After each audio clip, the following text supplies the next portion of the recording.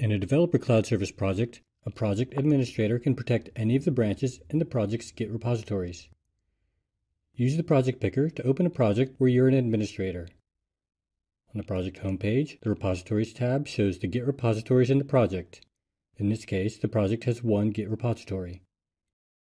To protect a branch, open the Administration tab and select Branches. The Git repository for this project has two branches, SVC branch and master. Simply select the branch and then activate branch restrictions so that only project owners can rename or delete the branch.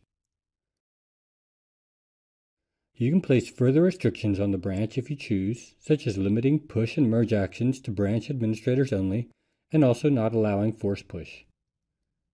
In the list of repository branches, a lock icon on a branch indicates that the branch is protected. On the branches page, you can add branch administrators as well. Thank you for watching. For more information, visit the Oracle Developer Cloud Service documentation page.